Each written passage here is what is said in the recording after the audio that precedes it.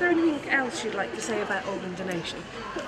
Yeah, I mean, I think we've got a chance here in Wales to show, you know, the rest of the UK and the world that, you know, that we've got a, we with our, you know, generosity and, and kindness, that we can help people in a, in a very unfortunate um, situation.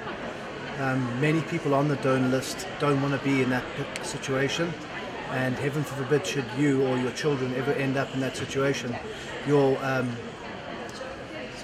your decision would be changed instantly if you were against it. So I would say to be extremely open-minded about organ donation.